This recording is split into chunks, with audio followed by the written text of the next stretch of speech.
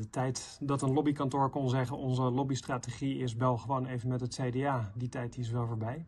En er zijn nu tientallen politieke partijen en Kamerleden gaan soms nog maar kort mee.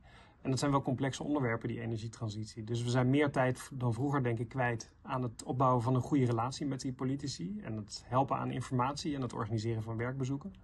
Maar ik denk dat ook een deel van het antwoord op die versnippering juist samenwerking moet zijn. Dus maatschappelijke organisaties die samen met een pleidooi komen, bijvoorbeeld voor de warmtetransitie of voor de industrieveranderingen.